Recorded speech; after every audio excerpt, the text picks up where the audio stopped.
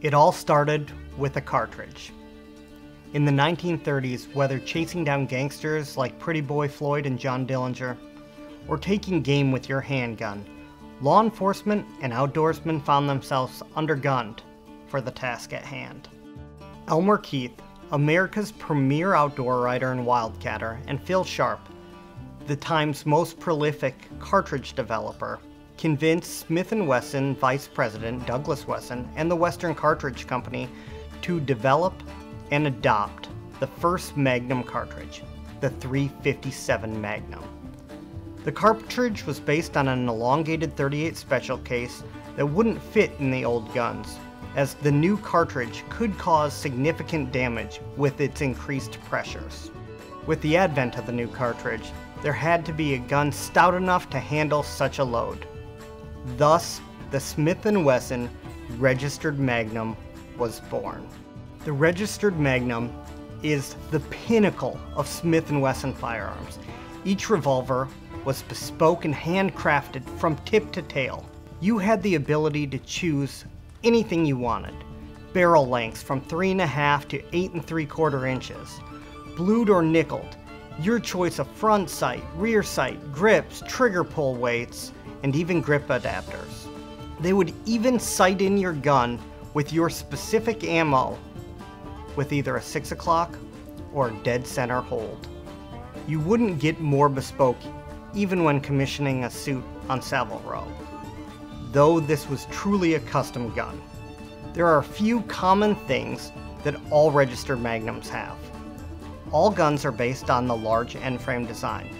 This frame is beefy enough to handle the increased pressures and heavy enough to make the gun easy to shoot. All had hand-checkered top straps to reduce the glare. This feature continued on to the gun's later predecessors, the Model 27. But really, what made this revolver unique was how Smith & Wesson handled the registration of this gun. In addition to the serial number, each gun was stamped with an individual registration number. With each gun came a card, and when filled out and sent in, Douglas Wesson himself sent a hand-signed certificate confirming the owner's name, registration number, custom features of the gun. Crazy enough, nearly half of the cards were never sent in. Only 5,500 registered Magnums were ever made from 1935 to 1939. One of the reasons was it was the height of the Depression and most men couldn't afford a $60 sidearm. And secondly, the cost to build and register these guns got way out of hand. With all that as primer, you might understand why these may be the most coveted Smith & Wesson of all time. In our upcoming August premiere auction, we don't just have a few registered Magnums, we have some of the rarest pieces ever assembled under one roof. Here are a few of my favorites. Starting with one of the earliest guns on the table is actually an ultra-rare pre-registered Magnum known as a club gun. Well, what is a club gun? It was actually manufactured prior to the registration number for testing.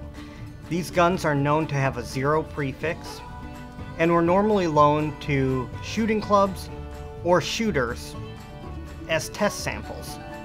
According to the factory letter, this gun was shipped with a 6-inch barrel and checkered walnut grips. It was shipped to M.H. Bingham in 1935.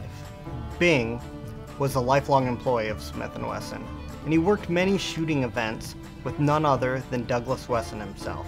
He also was on the Smith & Wesson shooting team. This gun was later engraved, rebarreled, restocked for Bing's long-term protege, Charles McGowan. McGowan commissioned many of the Smith & Wesson engravers to gussy up this revolver, to leave their own personal touches and create a truly one-of-a-kind piece. How often do you see a game scene engraved on a Smith & Wesson? It's a first for me. This is a rare gun amidst rare guns, a circumpunct at the center of the rarest of Smith & Wessons, a club gun reworked and engraved with a game scene by some of the finest and most prolific engravers in Smith & Wesson history. Stocked by none other than Al Gagne, the head honcho of Smith's stocking department. You will never see another gun like this. This is as good as it gets. As you can imagine, registered magnums were extremely popular with lawmen of the time. This documented revolver is one of 869 manufactured with a 5 inch barrel and was shipped to the Pondera County Sheriff's Department in Conrad, Montana. This gun is made even rarer by the McGivern front sight, deep U-notch rear, and the adjoined grip adapter. The gun's grips are numbered to the gun and it even sports a cockeyed hammer. Sheriff D.S. Welker was the recipient of this majestic six gun, and the specifications are listed and confirmed on his certificate. The Magnum comes with impeccable provenance and a ton of extras, such as the original certificate, factory letter, shipping tube addressed to DS Welker, the factory box, and all the documentation pertaining to the procurement of this sidearm. This gun, registered Magnum 4597, is an unmolested piece of history well documented, and definitely has the look, feel, and provenance you need in your collection. Here is an extremely rare Magnum, registration number 303. It's one of six documented registered Magnums with a King's rear peep sight.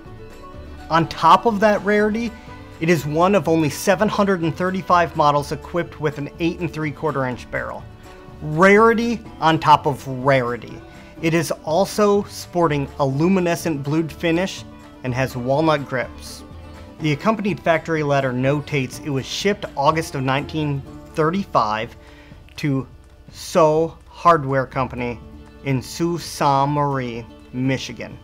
Along with the factory letter notating its embellishments, it has the original box. This is a true hen's tooth Condition, configuration, and rarity are pillars of the collecting community, and no matter what the platform, registered number 303 fulfills all of these.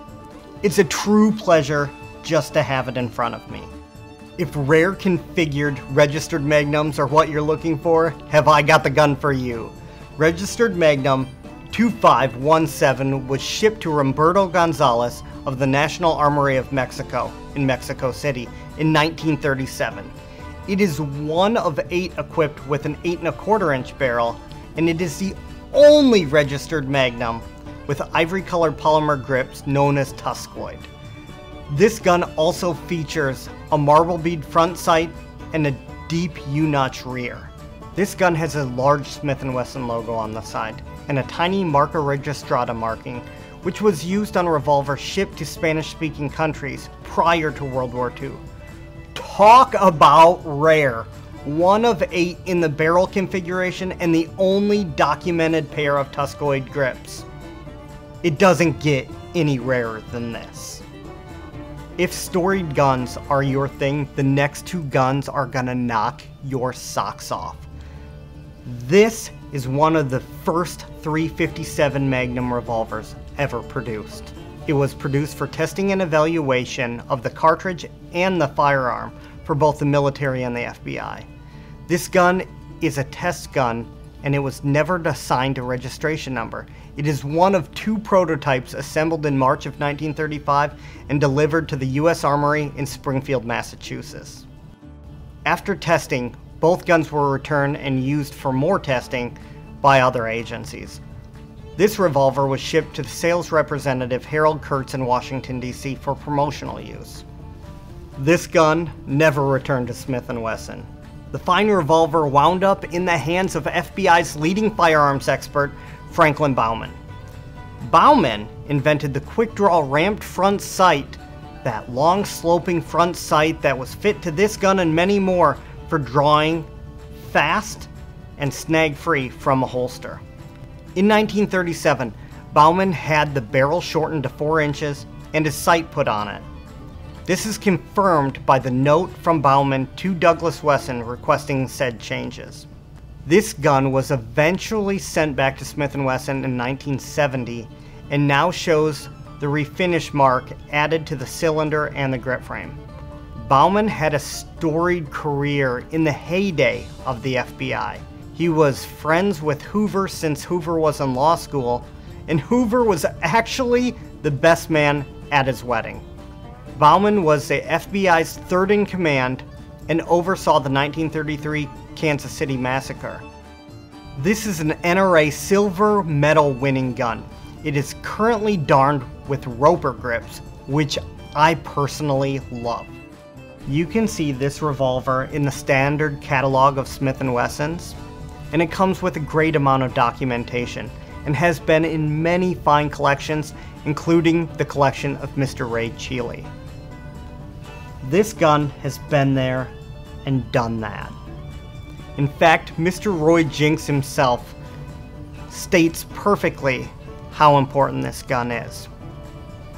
This is certainly the revolver that helped to make the 357 a popular handgun with law enforcement agencies. Last but not least, what I view as the most important gun on the table. Registered Magnum 4467 was also ordered by FBI agent Frank Baughman. However, it wasn't for him. It was ordered for Agent Birch O'Neal. O'Neal was in government service for over 30 years. He started his career as a special agent for the FBI, but went on to be employed by the Department of Justice, the Department of State, and the Central Intelligence Agency. For over 12 years, he was employed by the Foreign Service and stationed in Latin America, Europe, and even Africa. In 1947, he became the CIA station chief in Guatemala. But after butting heads with the government, after the government's involved overthrowing of the president, he went on to work counterintelligence for John Angleton's ultra secret Special Investigations Group. O'Neal controlled the agency's file on Lee Harvey Oswald from 1959 to 1963. Oswald's moves were documented in more than 40 reports, and after the assassination of President John F. Kennedy, O'Neal told the FBI they didn't know too much about Oswald. O'Neal was the first expert on Oswald. He was the CIA liaison for the Warren Commission, and his name to this day is found on almost all conspiracy theories about JFK and the CIA. A letter from O'Neal's daughter is yet another piece of history linking this revolver to him. His name is also marked on the bottom of the grips. Registered Magnum 4467 was ordered by Agent Frank Baughman for Agent Birch O'Neal with this 3.5 inch barrel, a Baughman front sight, a square notch rear. This gun, accompanied by the factory letter, certificate, shipping tube, and factory box, are all included. The story and documentation of this American man of mystery make this gun an amazing prize. Imagine O'Neal jet setting around the world, running agents, doing things we can only see in movies.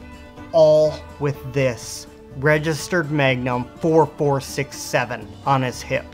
England's gentleman spy carried a Walther PPK, which is pretty cool but America's James Bond carried a 3.5 inch Smith & Wesson registered Magnum, and that's way cooler. From the ultra rare high conditioned registered Magnums to these elite provenance sidearms of the unsung American heroes, have we got the piece to take your collection to the next level. And they're only available right here at Rock Island Auction Company.